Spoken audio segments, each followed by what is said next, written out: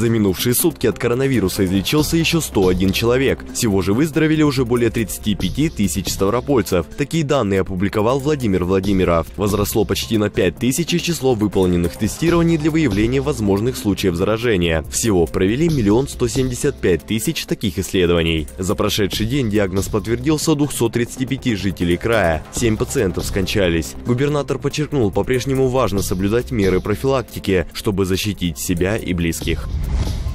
Массовая вакцинация от коронавируса на Ставрополье начнется 18 января. Этот вопрос обсудили на региональном координационном совете по борьбе с инфекцией. Согласно поручению президента, уже в понедельник клиники должны быть готовы к приему пациентов. Губернатор дал установку обеспечить полную безопасность процедуры и подвоз людей из отдаленных поселений. Записаться на прививку можно на сайте госуслуг, едином краевом портале здравоохранения и по номеру телефона 122 и в отделениях МФЦ.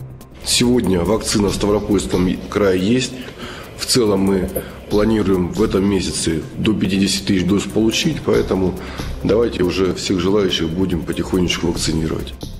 В то же время коечный фонд для больных коронавирусом расширит еще на 500 мест. Таким образом, специалисты во всем крае смогут принять почти 5000 пациентов. Сейчас 20% действующих коек остаются свободными. Также Владимиров предложил бесплатно тестировать на вирус всех, кто проходит плановую госпитализацию. На это выделят деньги из региональной казны.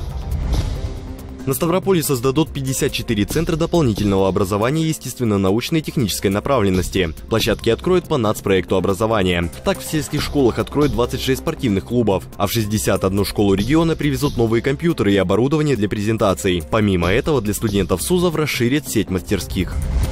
Пятигорске в 2021 году реконструируют Лазаревский сквер. Уже вымощены брусчаткой и природным камнем первые дорожки. В планах у специалистов облагородить территорию, прилегающую к храму. Работы проходят в рамках реализации программы формирования комфортной городской среды, входящей в состав нацпроекта «Жилье и городская среда».